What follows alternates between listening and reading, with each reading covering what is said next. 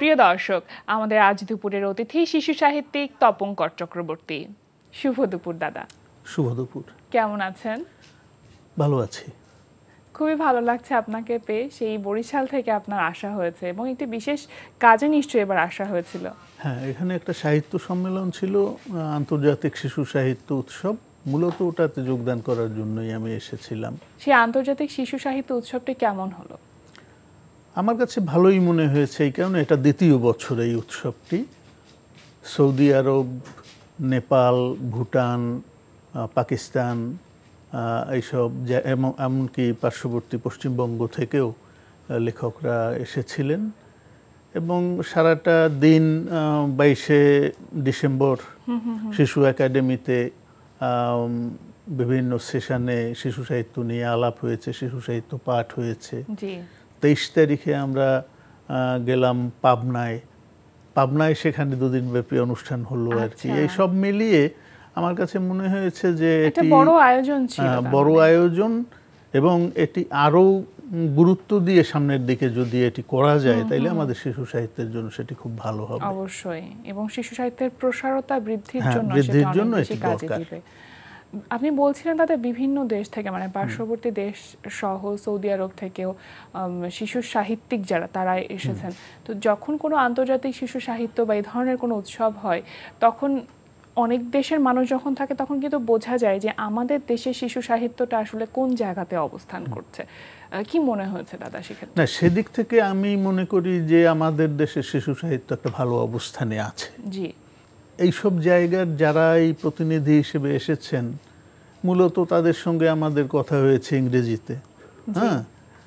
কারণ তাদের ভাষা আমরা বুঝি না আমাদের ভাষা ওইভাবে তারা বোঝেন না। তো আমি যেটুকু ধারণা করি যে বাংলাদেশের শিশু সাহিত্য যথেষ্ট সবল এবং অগ্রগামী অবস্থায় আছে কিন্তু এটার পরিচর্যার প্রয়োজন। আরও বেশি এর দিকে মনোযোগ দেয়া লেখকদের মনোযোগ দেয়া পাঠকদের এই বিষয়ে আগ্রহী হওয়া এই অনেকগুলো ফ্যাক্টরের সঙ্গে কাজ করছে আর কি। জি মূলত অটোমেটিক বিকাশ করতে সেট করুন অটোপে। বিকাশ থাকলে আর কি লাগে? শিশু সাহিত্যে আহ, এই আগ্রহটা তৈরি করার একমাত্র জায়গা কিন্তু পরিবার। পরিবারে যদি সেই মননশীলতার জায়গাটা তৈরি করতে পারে তবেই কিন্তু নতুন নতুন অনেক পাঠক হ্যাঁ তৈরি হবে। এখন সমস্যাটা হয়েছে কি এখন তো বিজ্ঞানের অগ্রগতির যুগ। জি। নানানভাবে আমরা আগের যে জীবন দর্শন আর এখনকার জীবন দর্শন এটা কিন্তু অনেক পার্থক্য। আমরা যখন ছোটবেলা পড়াশোনা করতাম তখন আমাদেরকে যেসব কথা বলা হতো এখন সেই সব কথা কোনো পরিবারে বলা হয় না। যেমন আমার মনে আছে আমি যখন ক্লাস থ্রিতে বরিশাল জেলা স্কুলে ভর্তি হই তখন আমার বাবা ক্লাস টিচারের হাতে আমাকে দিয়ে বলেছিলেন যে ওর হাতটা খালি আমাকে ফেরত দিও মাংসে আমার কোনো দরকার নাই। মানে আমাকে মেরে টেরে যে কোনোভাবে মানুষ করার একটা প্রকৃত মানুষ হ্যাঁ। মানুষ করার। এবং স্যার সেই কাজটি আহ, দীর্ঘ সাত আট বছর ধরে করেছিলেন। হ্যাঁ। প্রতিদিন আমাকে মারতেন। প্রতিদিন এই করতেন। প্রকৃত মানুষ আর বুনিয়াদটা হ্যাঁ, সেখান থেকেই শুরু দাদা। আমি তখন বুঝতাম না যে আমাকে স্যারে কেন মারেন আমি তো কোনো অপরাধ করি নাই কিন্তু স্যার মারতেন। এটা আমি বুঝতে পেরেছি অনেক পরে। আচ্ছা। আমাদের এসএসসি পরীক্ষা দিল একশো তিন জন স্কুল থেকে। আচ্ছা। তার মধ্যে সতেরোটা বোর্ডে প্লেস পেল। সায়েন্স বিশেষ করে সায়েন্স গ্রুপে। কিন্তু আমি আর্টসের ছাত্র আমি সবার চেয়ে বেশি অঙ্কে নম্বর পেলাম। বাহ। ওই স্যার আমাদের অঙ্ক শেখাতেন। ওই মেরে মেরে মেরে মেরে স্যার আমাকে এমন অঙ্ক শেখালেন যে আমি সবার চেয়ে বেশি নম্বর পেলাম। এবং স্যার যে আমাকে ভালোবাসতেন তার প্রমাণ পেলাম আরও দু বছর পরে আমি যখন ইন্টারমিডিয়েট পড়ি। তখন স্যার ভোলা জেলা স্কুলের হেডমাস্টার। বিচিত্রা পত্রিকায় আমার উপরে একটা আর্টিকেল বেরোলো বরিশালের লেখকদের নিয়ে তার মধ্যে আমার একটা ছবি দিয়ে আলাদা একটা ই বেরোলো যে বরিশালের সম্ভাবনাময় লেখক হচ্ছেন উনি। শিশু সাহিত্যের। এইটা স্যার ভোলায় বসে পড়েছেন। পড়ে সেই দিনই ভোলায় লঞ্চে চড়ে তিনি বরিশাল চলে এসেছেন। আচ্ছা। তখন তো লঞ্চ ছাড়া কোনো যাতায়াতের ব্যবস্থা ছিল না। এখন আমি দূর থেকে স্যারকে আসতে দেখে আমি খুব ভয় পেয়ে গেলাম। আমার তখন ধারণা ছিল না যে আমি কলেজে পড়ি। তখনও ধারণা যে আমি স্কুলেই পড়ি। আমি পালিয়ে থাকলাম একটা রুমের মধ্যে। তো মা এসে আমাকে অনেক বুঝিয়ে টুজিয়ে নিয়ে গেলেন। আমি যখন স্যারকে প্রণাম করতে গেলাম স্যার আমাকে বুকের মধ্যে জড়িয়ে ধরলেন এবং তার চোখ দিয়ে টপ টপ করে জল পড়তে দেখলাম আমি। সব থেকে বড় হ্যাঁ, প্রাপ্তি। এবং স্যার বললেন যে তপু তুই যে এত বড় হবি এটা আমার জানা ছিল না। জি। হ্যাঁ আমি তোরে কত মারছি আমারে পারলে ক্ষমা করে দিস।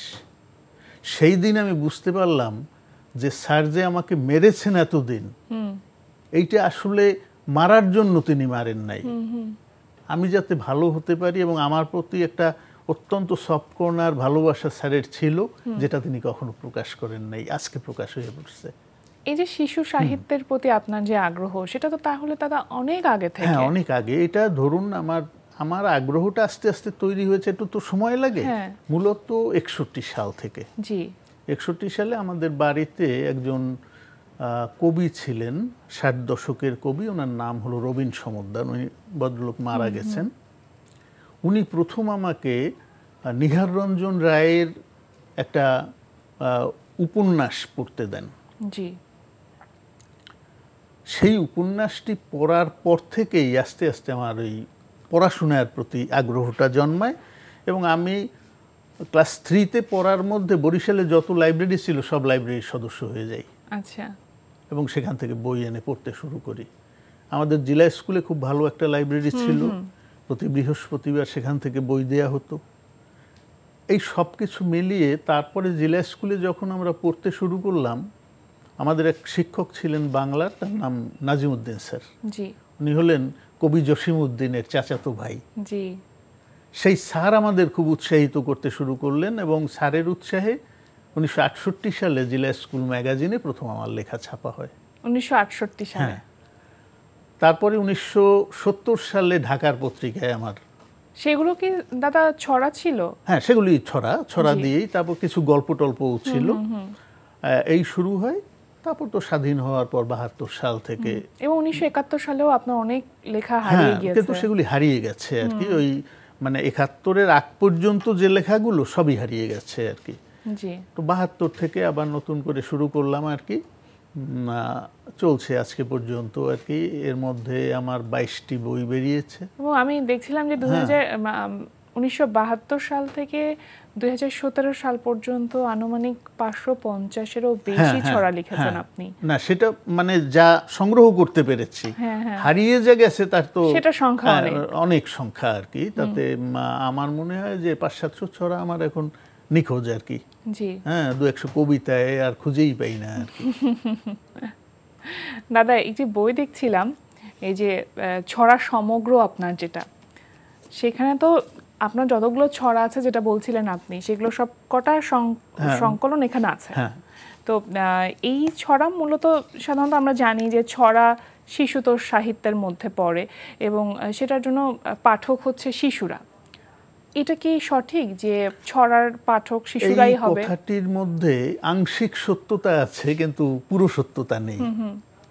প্রথম হচ্ছে যে একটা সময় ছিল যখন ছেলে ভুলানো ছড়া হ্যাঁ মেয়েলি ছড়া নানান রকম ভাবে ছড়াকে নামকরণ করা হতো। কিন্তু সেটা ছিল মৌখিক ছড়ার যুগে। কিন্তু আঠারোশো শতকের পরে যখন লিখিত ছড়ার যুগ শুরু হলো বিশেষ করে রবীন্দ্রনাথ ঠাকুর যোগীন্দ্রনাথ সরকার এরা যখন ছড়া চর্চা শুরু করলেন পরবর্তীকালে সুকুমার রায় অন্নদাশঙ্কর রায় আমাদের ছড়ার চরিত্র কিন্তু আস্তে আস্তে পরিবর্তিত হতে শুরু করল। আচ্ছা। ছড়া তখন শুধু শিশুদের জন্য এরকম রইল না। আচ্ছা। নানান বয়সী পাঠকের জন্য এমনকি পরিপূর্ণ বয়স্ক যে পাঠক তাদের জন্য ছড়া তখন একটা সাহিত্যের একটা মানে মাধ্যম হয়ে দাঁড়াল। এবং মোটামুটিভাবে আমাদের দেশে ষাট দশকের শেষ দিক দিয়ে এই যে কি বলা যায় আর কি রাজনীতি সচেতন সমাজ সচেতন বিজ্ঞান মনস্ক যে ছড়া এই ছড়ার আহ, উদ্ভব ঘটতে শুরু করল। যেটা সত্তর দশকে এসে আমি মনে করি যে পরিপূর্ণতা পেল। এবং আচ্ছা। যার ধারা আজকে পর্যন্ত প্রবহমান। এখন এর মধ্যে শিশু সাহিত্য যেটাকে আমরা বলি অর্থাৎ ছোটদের উপযোগী লেখা।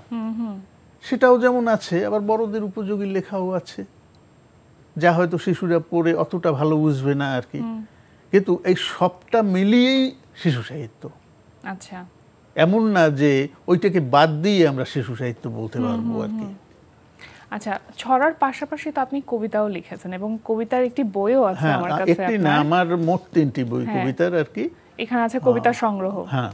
আচ্ছা। এটা হচ্ছে লাস্ট বই আর কি। হ্যাঁ। তার আগে ছিল দুটো কবিতার বই কিছু প্রেম কিছুটা বিদ্রোহ এবং আরেকটা হলো স্বপ্ন টেলিফোন অন্যান্য কবিতা। হুম। তো সামনে তো দাদা বইমেলা আসছে। হ্যাঁ। সব থেকে মানে একটা অপেক্ষার বিষয় আমাদের। অপেক্ষার একটা উৎসব বলা যেতে পারে মিলন মেলা বলা যেতে পারে আমাদের প্রাণের বইমেলা। এবারের বইমেলাতে। আপনার কি কি বই আমরা পাবো? আমার আমি তো আসলে খুব বেশি বই বের করি না। আমি সংখ্যার চেয়ে কোয়ালিটিতে বিশ্বাস করি বেশি। জি অবশ্যই। তবে এবারে আমার দুটো বই ছড়ার বই বেরোচ্ছে। একটা হচ্ছে উল্টে দিলেই পাল্টে যাবে। হুম হুম। বাহ নামটাও কি হ্যাঁ। মজার। এইটা আর একটা হচ্ছে ধুমধারাক্কা। হুম হুম। এটাও ছড়ার বই। হ্যাঁ ছড়ার বই। ধুমধারাক্কার প্রচ্ছদ করেছে ধ্রুব এস আর ওই উল্টে দিলেই পাল্টে যাবে এইটার প্রচ্ছদ করেছে উত্তম সেন। দাদা আপনি থাকছেন বরিশালে। তো জীবনানন্দ দাশের যেখানে জন্ম বা বেড়ে ওঠা আপনারও তেমনই। কোনো প্রভাব কি আছে আপনার লেখায়? আসলে জীবনানন্দ দাশ তো আমাদের আধুনিক বাংলা কবিতার প্রাণ পুরুষ বলে আমি মনে করি। রবীন্দ্র নজরুল যুগের পরে একটা নতুন যুগের তিনি সূচনা করেছেন। এবং আজকে আমরা যারা কবিতা চর্চা করি সাহিত্যের চর্চা করি আমরা কিন্তু তার ধারাটিকে আমরা অনুসরণ করি। এবং জীবনানন্দ দাশ এমন এক কবি যিনি প্রতি মুহূর্তে আবিষ্কৃত হচ্ছেন। এখনও পর্যন্ত তাকে মানে আমরা রহস্যের হ্যাঁ, মতন পুরোপুরি আবিষ্কার করতে পারিনি। তার যে গদ্য তার যে উপন্যাস তার যে মা, গল্প এমনকি তার জীবনটাও। হ্যাঁ এগুলি নিয়ে আমরা এখনও পর্যন্ত কাজ শুরুই খুব একটা কাজ শুরু করতে পারিনি। তার জীবন নিয়ে আমরা আম, নানাভাবে নানা জনে ব্যাখ্যা করতেছি কিন্তু আসলে জীবনানন্দ দাশকে সঠিকভাবে আমরা তুলে আনতে পারিনি। সব মিলিয়ে জীবনানন্দ দাশ মনে হয় যে আরও একশো বছর আমাদের কাছে রহস্য হয়েই থাকবেন আর কি। তারপর যদি আমরা তাকে বুঝতে পারি। তবে বরিশাল শহরে জীবনানন্দ দাশের মতো বা কাছাকাছি মাপের অসংখ্য জ্ঞানীগুণী মানুষ ছিলেন এক সময় নানা কারণে যেটা হয় আর কি জীবনের প্রয়োজনে অথবা অন্য কারণে বাধ্য হয়ে তারা ছড়িয়ে ছিটিয়ে পড়েছেন নানা দিকে। কিন্তু একটা সময় বরিশাল খুব সংস্কৃতিবান এলাকা ছিল। এখনও সেখানে সংস্কৃতির চর্চা একেবারে খারাপ চলছে এরকম আমি বলব না। সেটা সম্পর্কে একটু হ্যাঁ, জানতে চাইব হ্যাঁ, দাদা আপনার সব মিলিয়ে ওখানে যেমন ধরুন বরিশালে একটি সংগঠন আছে তার নাম হচ্ছে সাংস্কৃতিক সংগঠন সমন্বয় পরিষদ। সাঁত্রিশটি সাংস্কৃতিক সংগঠনের একটা জোট। এরা নানাভাবে এই সাংস্কৃতিক সংগঠনগুলিকে উৎসাহিত করতেছে। আমরা জাতীয় কবিতা পরিষদ বরিশাল নামে একটি সংগঠন করি আর কি। সেই সংগঠন প্রতি বছর আমরা একটা জীবনানন্দ মেলা করার চেষ্টা করি। জি। নানাভাবে আমরা চেষ্টা করছি যে ওখানকার সাহিত্য সংস্কৃতি ক্ষেত্রে যাতে কিছুটা আর কি অগ্রগতি হয়। চর্চাটা হ্যাঁ, বাড়ানো যায় আর কি। দাদা আপনি তো দীর্ঘকাল অধ্যাপনা করছেন। প্রায় চল্লিশটা বছর। আপনার হাত দিয়ে বলা যেতে পারে কয়েকটা প্রজন্মকে আপনি দেখেছেন বেড়ে উঠতে। আপনার হাত দিয়ে অনেক প্রকৃত মানুষ তৈরি হয়েছে এখন পর্যন্ত। সেখানে সেখান থেকে আসলে কি দেখেছেন নতুন প্রজন্মের ছেলে মেয়েদের মধ্যে? কথাটা একটু বলতে হলে আমার একটু পেছনে যেতে হবে। পেছনে যেতে হবে মানে আমার বাবাও শিক্ষক ছিলেন। জি। বাবা আরও একটু বলি যে বাবা ব্রিটিশ বিরোধী স্বাধীনতা সংগ্রামী ছিলেন। বাহ। প্রচুর জেল খেটেছেন তিনি ষোলো বছর জীবনে জেল খেটেছেন রাজবন্দী হিসেবে। তো একটা সময়ে বাবা রাজনীতি ছেড়ে দেন। ওই জেলে থাকা অবস্থায় বাবাই কলকাতা বিশ্ববিদ্যালয়ে ইংরেজি অনার্স পরীক্ষা দিয়ে সেকেন্ড হন। এম এ পরীক্ষা দিয়ে সেকেন্ড হন। সেই সময়? হ্যাঁ ল পরীক্ষা দিয়ে পাশ করেন। জি। এবং জার্মান ল্যাঙ্গুয়েজে ডিপ্লোমা করেন। আচ্ছা। তো বাবাকে দেখেছি যে উনি প্রাইমারি স্কুলে প্রথম শিক্ষকতা করতেন। যখন সরাসরি উনি কলেজে যেতে পারতেন তখন উনি প্রাইমারি স্কুলে শিক্ষকতা করেছেন। তারপরে হাই স্কুলে শিক্ষকতা করেছেন। তারপরে কলেজে শিক্ষকতা করেছেন। এখন সেটা পাকিস্তান আমল ছিল বলে বাবার পক্ষে হয়তো অধ্যক্ষ হওয়া সম্ভব হয়নি। কারণ আহ, সে সময় সত্যিকার অর্থেই আমাদের প্রতি যে পাকিস্তানিদের যে আচরণ সেটা খুব একটা ভালো ছিল না। যে কারণে আমরা ওই স্কুল কলেজে শিক্ষকতার চাকরিটুকুই পেতাম এর বাইরে খুব একটা ভালো কিছু পেতাম আচ্ছা। না। কিন্তু বাবা দীর্ঘদিন শিক্ষকতা করার ফলে আমি যে ঘটনাগুলি দেখলাম যে শিক্ষকতা জিনিসটি আসলে কি? আমি খালি কলেজে গেলাম একটি লেকচার দিলাম অথবা আমি কলেজের প্রশাসনিক কাজগুলি করলাম এটাই শিক্ষকতা আমার প্রতিটি ছাত্রছাত্রীর মিনিমাম খেয়াল রাখার চেষ্টা করা তাদেরকে উদ্বুদ্ধ করা উৎসাহিত করা। এই সময়ে হ্যাঁ। এসে মানে বিশ্বায়নের এই যুগে এসে দাদা এটা কি করা সম্ভব এটা আমি অন্তত করেছি। আচ্ছা। আমি প্রথম শিক্ষকতায় ঢুকেছি সেটা হলো উনিশশো তিরাশি সালে। সেই থেকে এবছর পর্যন্ত আমি শিক্ষকতায় তা পুরো চল্লিশ বছর। এই চল্লিশ বছরে আমি যে যে কলেজে চাকরি করেছি সেখানে সেখানেই আমি আমার সাধ্যমতো কিছু করার চেষ্টা করেছি। সবচেয়ে বেশি যেটা করতে পেরেছি সেটা হচ্ছে অমৃতলাল দে কলেজে। কারণ ওই কলেজে আমি ভাইস প্রিন্সিপাল হিসেবে জয়েন করি। এবং বলা যেতে পারে যে অলিখিতভাবে আমি প্রিন্সিপালের দায়িত্ব সবসময়ই পালন করেছি। পরবর্তীকালে আমি প্রিন্সিপালও হয়েছি। এই কলেজটিতে আমি বহু ছেলেমেয়েকে বিনা পয়সায় পড়ানোর চেষ্টা করেছি ফর্ম ফিল আপ করিয়েছি নানাভাবে সাহায্য সহযোগিতা শিক্ষক হিসেবে যতগুলো হ্যাঁ। দায়িত্ব অটোমেটিক বিকাশ করতে সেট করুন অটোপে বিকাশ থাকলে আর কি লাগে? পালন করা সম্ভব তার সবগুলোই আপনি হ্যাঁ। আমি নিজে ক্লাস নিয়েছি। হ্যাঁ। মোটামুটি ভাবে আমার কোনো ছাত্রছাত্রী বলতে পারবে না যে স্যার খুব একটা ভালো ক্লাস আমি নিঃসন্দেহে বলব যেসব আহ, শিক্ষার্থী আপনাকে শিক্ষক হিসেবে পেয়েছে। তারা নিঃসন্দেহে অনেক সৌভাগ্যবান। এবং আমার সৌভাগ্য হচ্ছে এই যে আমার অনেক ভালো ভালো হ্যাঁ। ছাত্রছাত্রীরা এখন আমাদের দেশে বিভিন্ন জায়গায় বড় বড় পদে আছে। এক সময় হয়তো ওরাই দেশকে চালাবে একদম একদম। এবং এখানে আপনারও একটা বিশাল বড় সন্তুষ্টির জায়গা আছে। কথা বলতে দারুণ লাগছিল দাদা। আরও অনেক গল্প মনে হয় বাকি থেকে গেল। নিশ্চয়ই অন্য কোনো আয়োজনে আপনার আরও অনেক গল্প আমরা শুনব। সেই প্রত্যাশায় রইলাম। ভালো থাকুন। আমাদের আয়োজনে আসবার জন্য সময় দেওয়ার জন্য অনেক অনেক ধন্যবাদ ধন্যবাদ আপনাকে। ভালো থাকুন। প্রিয় দর্শক, আমরা চলে এসেছি অনুষ্ঠানের শেষ প্রান্তে। অনুষ্ঠান সম্পর্কে আপনার মতামত জানাতে মেইল করুন আজ দুপুরে অ্যাট এনটিভিবিডি ডট কমে বিশ্বের যে কোনো প্রান্ত থেকে যে কোনো সময় আজ দুপুরে দেখতে ভিজিট করুন আমাদের পূর্ণাঙ্গ web portal W W W dot NTVBD dot com এছাড়া এনটিভি সব জনপ্রিয় অনুষ্ঠান ও খবরের আপডেট পেতে ভিজিট করুন আমাদের ইউটিউব চ্যানেল ও ভেরিফাইড ফেসবুক পেজে সবার মঙ্গল কামনায় আজকের মতো এখানেই শেষ করছি। শুভ দুপুর।